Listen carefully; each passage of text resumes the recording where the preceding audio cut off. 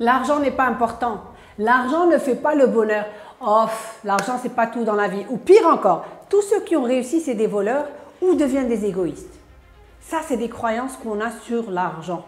Et dites-vous bien que l'argent n'ira jamais dans les poches de quelqu'un qui ne l'aime pas, qui le déteste et qui a des croyances négatives à son sujet. L'argent ira toujours dans les poches de quelqu'un qui l'aime, dans les poches de quelqu'un qui le célèbre. Dans notre culture, on a un rapport très biscornu avec l'argent. On n'en parle pas, c'est tabou et on trouve que quelque part l'argent est sale. Aux États-Unis, quand je partais très souvent pour faire mes formations là-bas, les gens aiment l'argent, euh, euh, respectent l'argent et font tout pour en avoir. Et je me suis rendu compte que pour eux, ils aiment l'argent, mais ce n'est pas le bout de papier qu'ils aiment, absolument pas. Ce qu'ils aiment, c'est l'émotion qu'il y a derrière, c'est le bonheur que ça leur procure.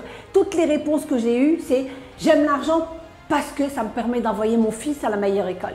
J'aime l'argent parce que ça me permet d'emmener mes parents au week-end. J'aime l'argent parce que ça me permet d'offrir la voiture de, de, ses rêves à ma femme. J'aime l'argent parce que ça me permet de contribuer à améliorer la société dans laquelle je vis. Et voyez-vous que je ne peux pas faire ça si je suis pauvre. Les croyances, que vous le voulez ou pas, nous conditionnent. Ils conditionnent les actions que vous menez dans votre vie et ils conditionnent aussi les résultats que vous obtenez. Alors maintenant, j'aimerais te poser une question sont les croyances que tu as vis-à-vis de l'argent Est-ce que tu trouves que tu as des croyances dynamisantes qui t'aident à atteindre tes objectifs, tes rêves et améliorer ta vie Ou alors, est-ce que tu as des croyances limitantes qui au contraire te freinent dans ton cheminement au quotidien Vos croyances conditionnent vos résultats. Faites le bilan de vos croyances et laissez-moi un commentaire. C'était Nahid Rached. هذا هو الله يحفظكم